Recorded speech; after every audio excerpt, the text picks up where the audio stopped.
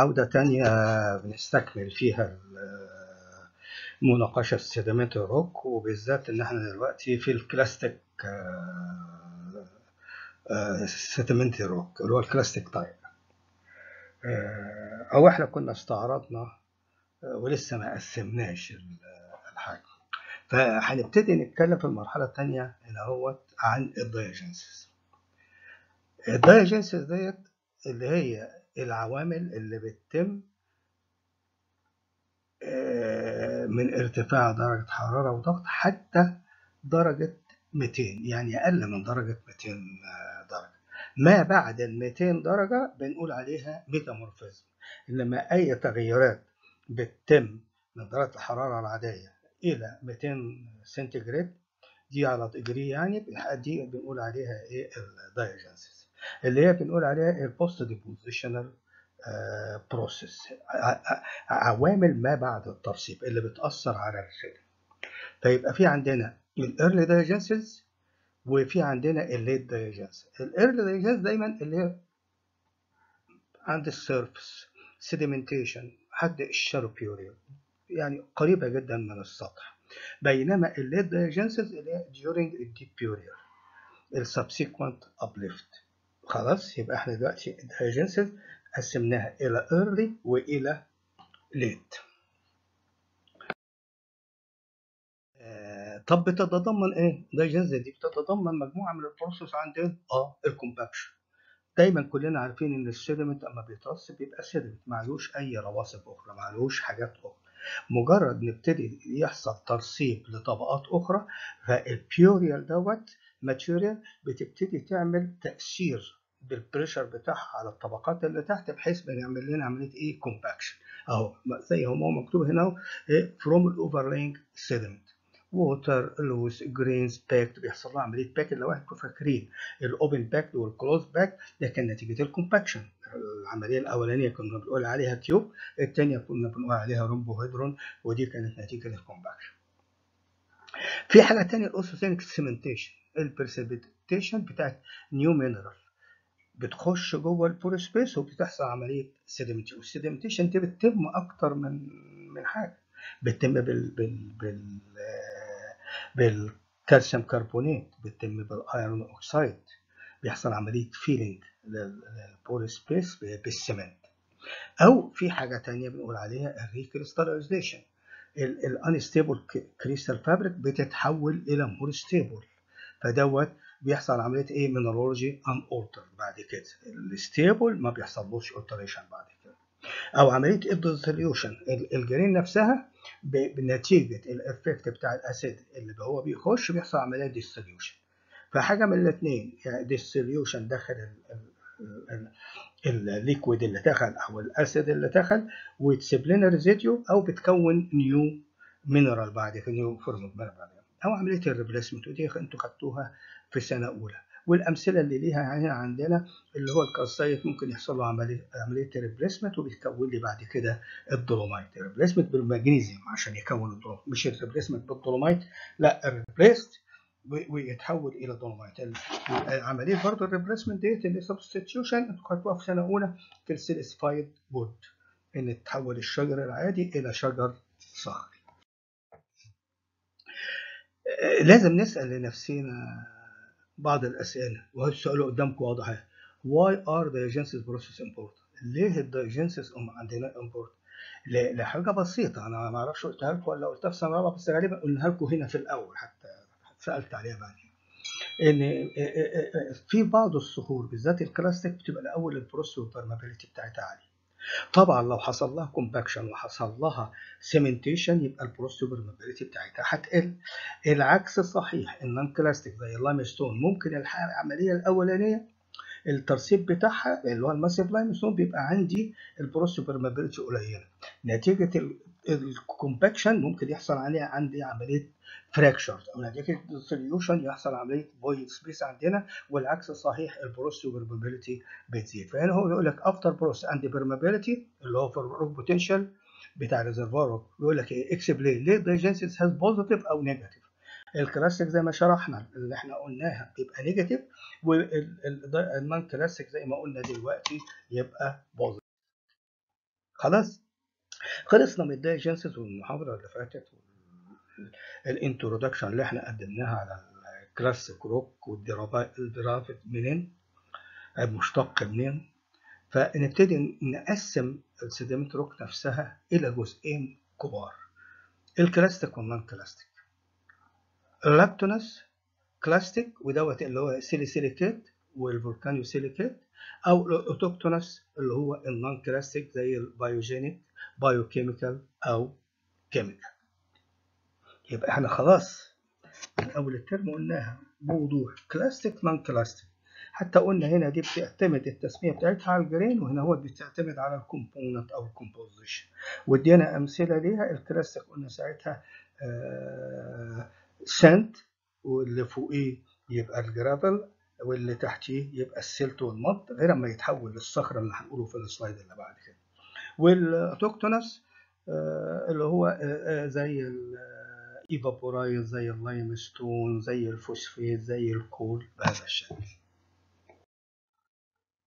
طيب يبقى ال classification بتاع ال sediment rock هيتقسم لي لل four category هم اثنين category أساسا بس إحنا بنقول إيه؟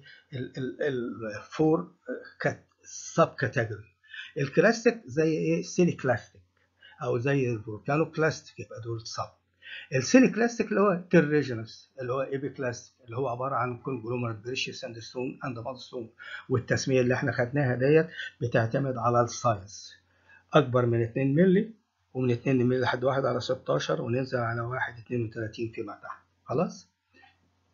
ال volcanoclastic اللي هي عبارة عن ال fragment.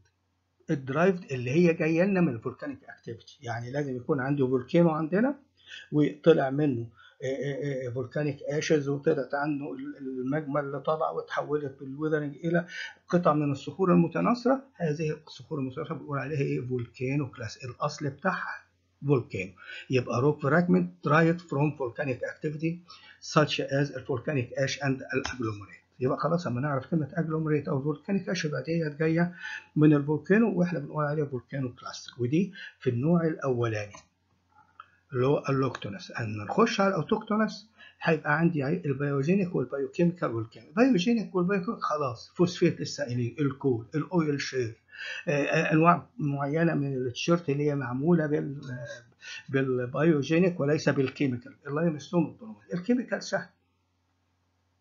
evaporite هي just evaporation ال ironstone ال chert ال limestone ال dolomite okay ال siliciclastic sediment conglomerate breccia sandstone and mudstone دي كلها بتعتمد على التقسيمة according to size according to their size أو ال size خلاص؟ دي group من ال rocks خلاص قلناها conglomerate عارف إيه بتتكون من من fragment ال fragment دي يا إما هنقولها في ال slide جاية جاية لنا من نفس المكان اللي هي جنب ال source نفسه يا إما جاي لنا من مكان آخر وال source بعيد عن هذا المكان. دي بيبقى ليها اسم ودي بيبقى ليها اسم. هي بتيجي لنا إزاي؟ بتعتمد على إنها جاية لنا. يا pre-existing sedimentary rock أو igneous rock أو metamorphic rock واحد يقول يا دكتور ما حضرتك قلت لنا ما كانش فيه sediment قبل كده. هو فعلا ما كانش فيه sediment كان فيه igneous وال igneous يتحول ل sediment وال sediment لو أنتوا فاكرين ال sediment cycle من الممكن يحصل له uplift ويرجع تاني يكون لنا sediment ال rock طيب ال sediment ده ممكن يتحول لارتفاع درجة الحراره يبقى metamorphic وقلنا إن ال metamorphic برضه في ال sediment cycle أو ال rock cycle يبتدي يحصل له عمليه uplift ويطلع فوق ويحصل عمليه ال erosion يبقى إيه؟ يبقى ال sediment rock دوت جاي لنا يا إما من igneous rock يا إما من metamorphic rock يا إما من pre-existing sedimentary rock يعني sediment اتكون في مراحل آه سابقة. طب بيجي لنا إيه؟ بيجي لنا بوسيلة التيار ال current.